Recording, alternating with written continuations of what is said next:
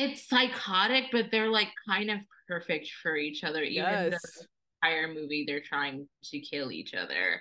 I think it really works for them, and I think you know, spoiler alert, I think it's great that they'll be together for all of eternity. Yeah.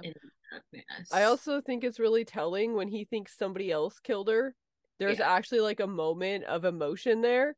It's yes. Because, and I don't think it's because he's like really I think he wanted to be the one to do it. Yeah, I do. he's like, no, I deserve to kill that bitch who I love because she's my match, but yeah. like she gotta go and she's fucking hot. She's like a shit, brother.